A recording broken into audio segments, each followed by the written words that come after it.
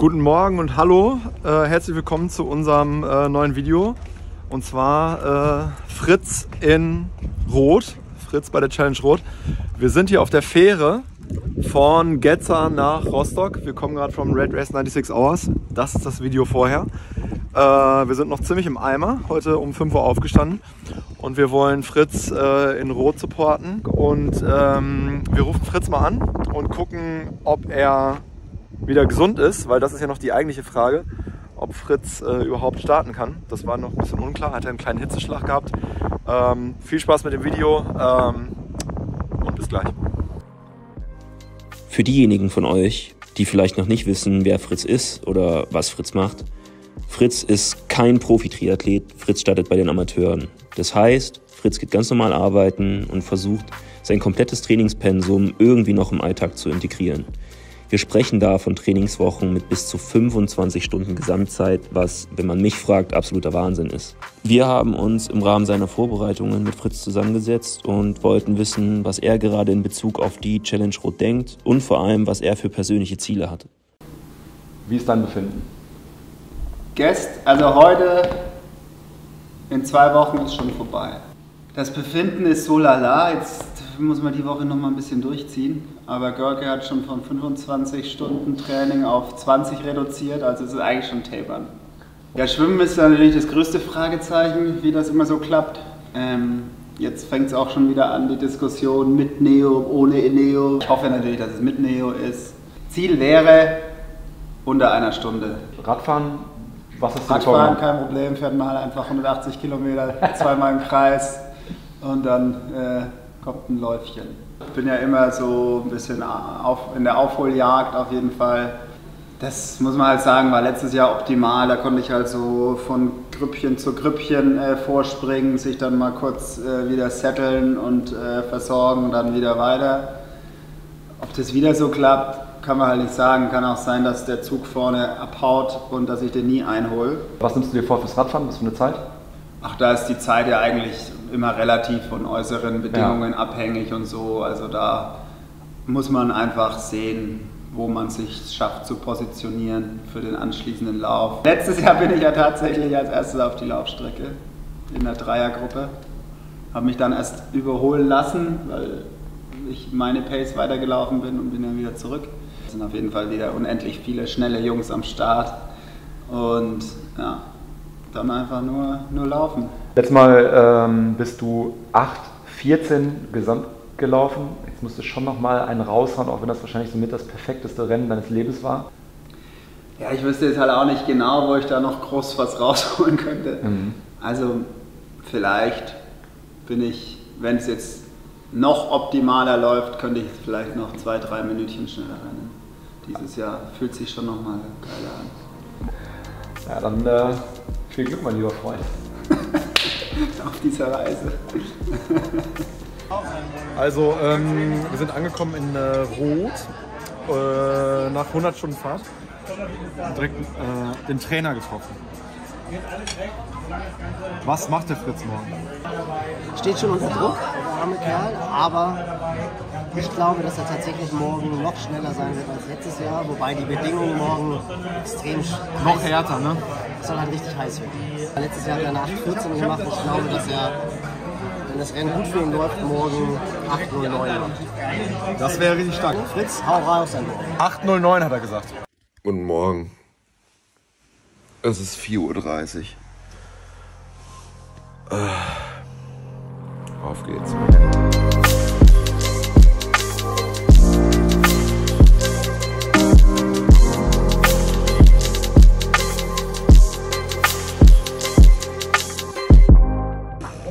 Morgen. äh, es ist 6 Uhr. Fritz Start ist in 50 Minuten um 6.50 Uhr. 20 Minuten nach den Profis. Es ist unglaublich voll schon. Äh, das ist echt der Wahnsinn. Ich glaube, ganz Deutschland ist irgendwie gefühlt bei diesem Triathlon. So, ich habe endlich Ruben gefunden. Guten Morgen. Moin. Jetzt müssen wir nur noch Fritz finden, aber das könnte hier ziemlich schwierig werden. Habe ihn schon gesehen irgendwo. Ähm, erklär mal, was ist hier los? Hier werden die Beutels hingelegt. Ähm, schön sortiert. Du musst dir gut merken, wo deiner liegt. Aber wirklich. Fritz will den mit seinen da vorne irgendwo haben. Der Fritz hatte eine sehr tiefe Startnummer. Also es ist Wahnsinn, was hier los ist. Das ist nochmal Next Level im Vergleich auch zum Ironman Hamburg. Ähm, ich glaube, wir trennen uns jetzt. Ruben covert gleich so ein bisschen das Fahrradfahren. Wir versuchen zurückzukommen und sind dann wieder ablaufen dabei, so gut wie es halt geht. Äh, schauen wir mal. Bis gleich, Digga.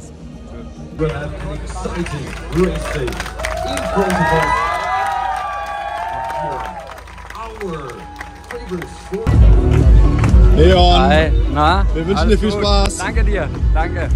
Lars, viel Glück. Eine schöne Gruppe mit Fritz bitte, ne? Brauchst du noch Hilfe beim Neo? Ja. Willst du denn oben drüber? Äh, nee, das passt. Alles Gute dir, Digga. Jo, danke. Guten Morgen, Fritz. Schön, dass du es einrichten konntest. Ich bin ein bisschen nervös. Ja, ja, macht nichts. Dann wünsche ich euch einen schönen Tag. Dir auch. Wir sehen uns an der Strecke, Digga. Alles Gute.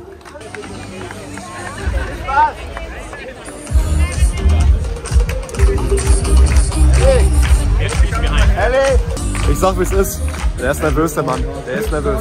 Da leinen die sich auf. Da ist gleich Schwimmstart. Fritz ist in der ersten Startgruppe 6.50 Uhr. Hinter ihm dann 3500 äh, Starter durch seinen geilen äh, äh, Lauf und Schwimmen und äh, Fahrradfahren. Letztes Jahr ist er in der ersten Startgruppe um 6.50 Uhr. Äh, ja, gleich geht's los. Genau verpasst.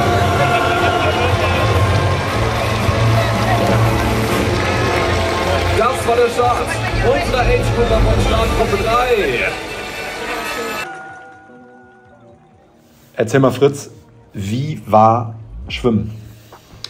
Ja, Schwimmen war eigentlich ähm, ganz gut. Ich konnte mich am Anfang eigentlich aus allem Geprügel raushalten und habe eigentlich relativ früh meinen ähm, Rhythmus gefunden. Ja, das Einzige, äh, was ich vielleicht sagen kann, dass es fast zu entspannt war. Ich hatte eigentlich die ganze Zeit nämlich ein paar Füße, an die ich mich ranhängen konnte.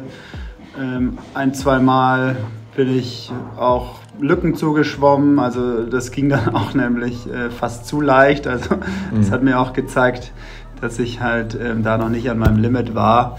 Also ich konnte dann einfach mal äh, zwei, drei Minütchen äh, hochbeschleunigen und hatte dann ruckzuck eine Lücke zugeschwommen. Von daher war eigentlich alles entspannt. So, normale Härte hier. Ich stehe hier an der Radstrecke, warte auf Fritz. Und breit noch nichts zu sehen. Ich stehe hier in Unterrödel und warte, dass Fritz hier vorbeirödelt.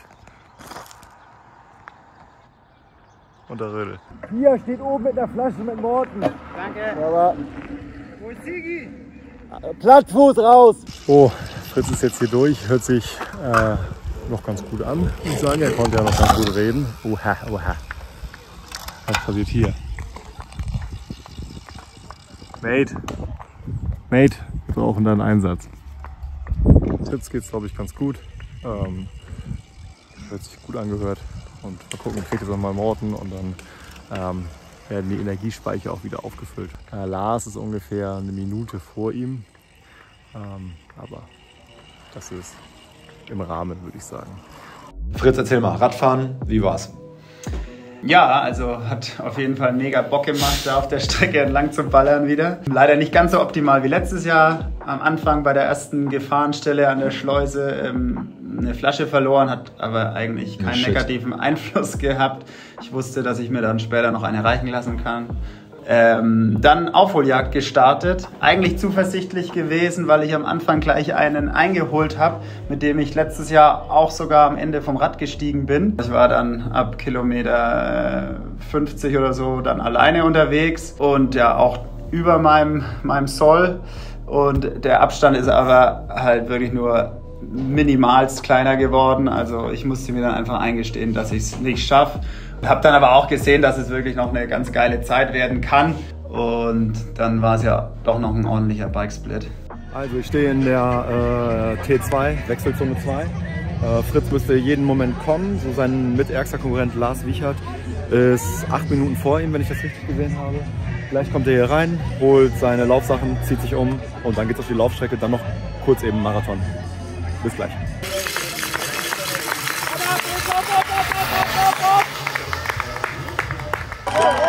Also ich finde ja Rot so krass, wie die das organisiert haben, dass dir dann ein Fahrrad abgenommen wird, dass sie dir den Beutel geben. Das kenne ich ja vom Ironman auch nicht. Ganz kurz zur Wechselzone. Wie fühlt man sich da nach Schwimmen und äh, Fahrradfahren? wie ist das da? Also ähm, man muss sich wirklich da schon einreden, ähm, dass es ja die letzten Male auch ging zu laufen. Ja. Also du kommst da halt rein, bist dann natürlich erstmal ein bisschen krumm äh, im Rücken und im Nacken. Hüftbeuger ist verkürzt.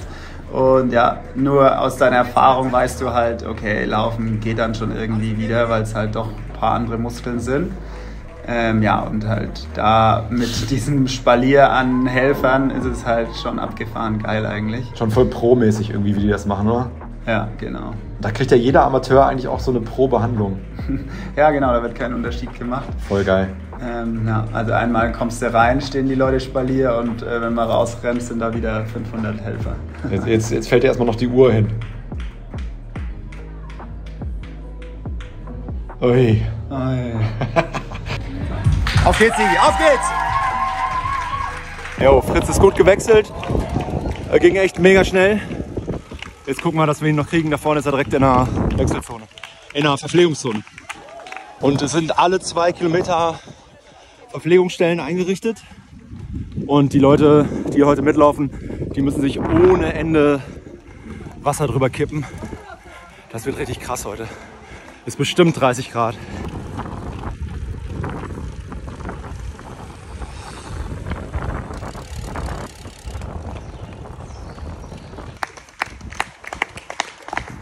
Auf geht's, Fritz. Komm.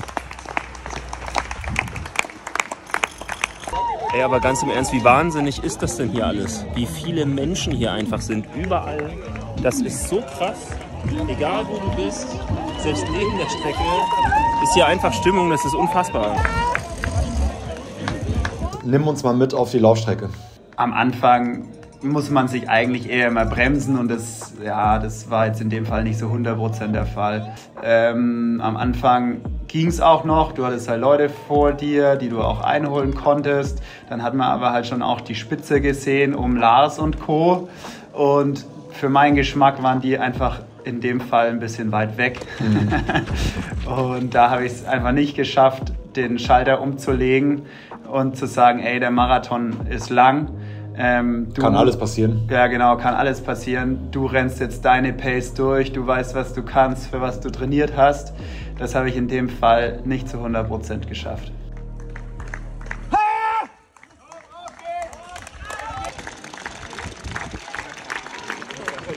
Kein Trinkwasser. Kein Trinkwasser.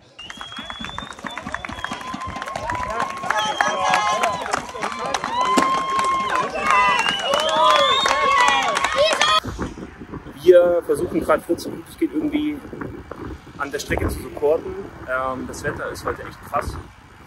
Ähm, war zwar vorherzusehen, allerdings, so wie ich das verstanden habe, war es vor zwei Tagen hier wohl auch nochmal richtig kalt und so. Das heißt, das schlägt dann wahrscheinlich nochmal ein bisschen mehr aufs System. Aber ich bin da guter Dinge. Ich meine, ich habe ihn zwar vorher noch nie bei einem Wettkampf gesehen, aber der Typ sieht noch so kontrolliert aus einfach. Das ist der absolute Wahnsinn. Fritz, höchsten Respekt. Ähm, bei den Temperaturen kann ich mir nur ansatzweise vorstellen, was das für eine krasse Belastung ist. Aber macht auf jeden Fall mega Bock.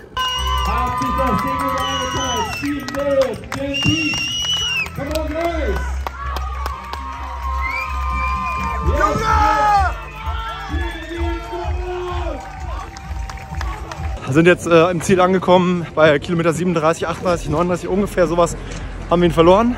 Wir gehen schnell ins Stadion und äh, begrüßen Fritz. So, Fritz. Fazit Rot 2023. Wie war's? Also mir hat es absolut, oder mir ist es absolut nicht schwer gefallen, das als mega geilen Tag zu verbuchen. Ähm, klar hätte dann irgendwie was immer besser laufen können, aber mit all den Leuten, mit äh, dem Support von Family, von hier Red Pack an der Strecke, ähm, war einfach mega geil.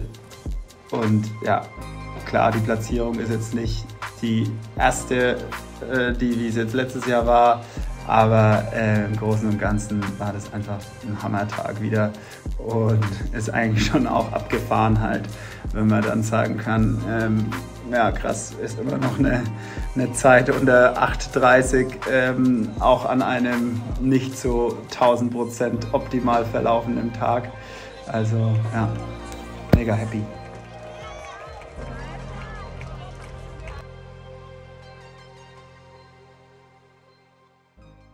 Sandro Kirchner.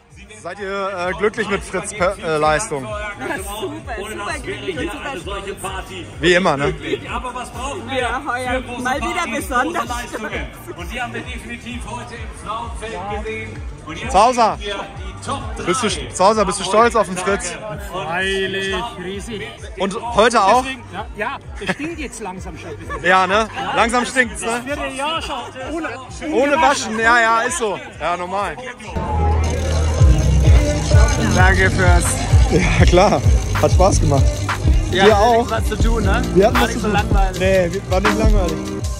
Wir haben, wir haben vier oder fünf Leute gebraucht, um das zu schaffen. Aber äh, bist du happy? Jetzt im Ziel ist man immer als Meister. Unglaublich heiß, ne? Also du kannst dir nicht vorstellen, wie sehr man sich diese Ziellinie hier Oh Gott, ich glaub's, ey. Ich glaub's, ey.